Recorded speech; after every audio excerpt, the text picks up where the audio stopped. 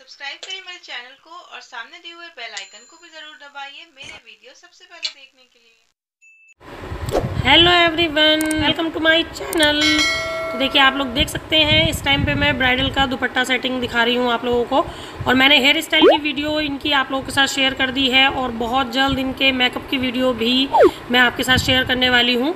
तो उससे पहले मुझे लगा कि मुझे आप लोगों के साथ में ब्राइडल दुपट्टा सेटिंग भी शेयर करनी चाहिए। और ये dupatta setting double dupatta setting है।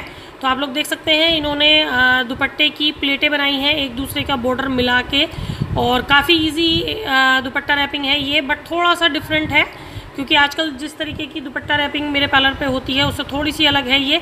बट इनकी हाइट वगैरह का ध्यान में रखते हुए ये काम किया गया था, क्योंकि इनकी हाइट ना काफ़ी कम है।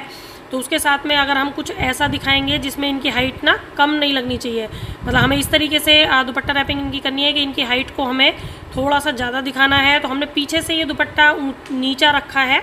आप लोग देख सकते हैं, देखिए, पीछे से दुपट्टा नीचा रखा है और आगे से ऊँचा रखा है। और आप लोगों ने पहले भी मेरे चैनल पे काफ़ी ब्राइडल के दुपट्टा रैपिंग की वीडियो देखी होंगी। तो आई होप कि आप लोगों को पसंद आती हैं। तो मुझे लगा कि मुझे आप लोगों के साथ शेयर करना चाहिए।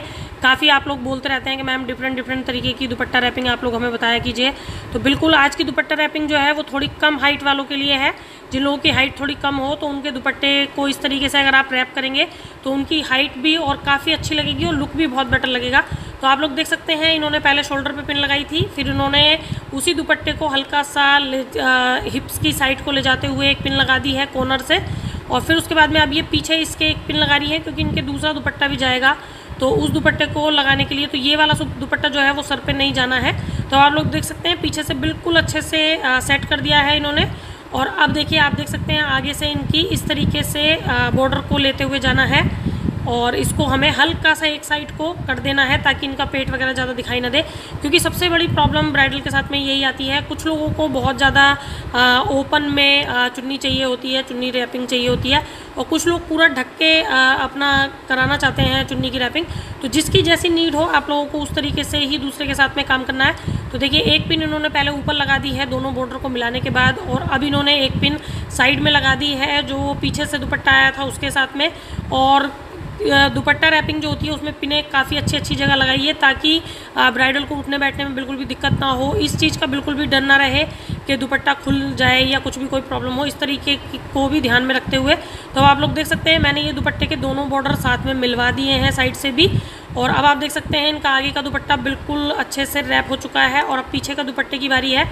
तो देख सकते हैं आप इनका लुक कितना डिफरेंट लग रहा है एक दुपट्टे के बाद और दूसरा दुपट्टे को हम कभी भी अगर सर पे डालें तो पहले उसको मिला लें क्योंकि वो बराबर बराबर होना चाहिए, क्योंकि पीछे से जो दुपट्टे की रैपिंग होती है वो हमेशा बराबर में आनी चाहिए और वो कहीं से क्योंकि पिनअप वगैरह भी नहीं होता है। अब आप देख सकते हैं मैंने ये इनके, इनसे पूछ के कि इनको कितना आगे चाहिए दुपट्टा, वो चीज़ को पूछते हुए हम लोगों ने देखिए बिल्कुल अच्छे से इनके जो हेयर स्टाइल में जो जूड़ा बनाया था उसके ऊपर इनका ये रैप कर दिया है।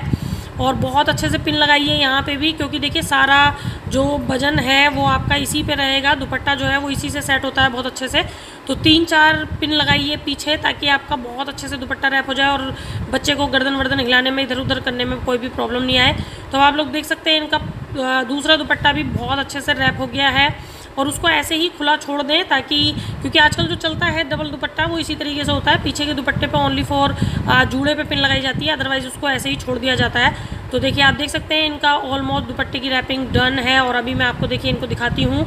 और बहुत अच्छे से इनकी दुपट्टे की रैपिंग हुई और अब आप देख सकते हैं इनकी हाइट कम हुई, कम है।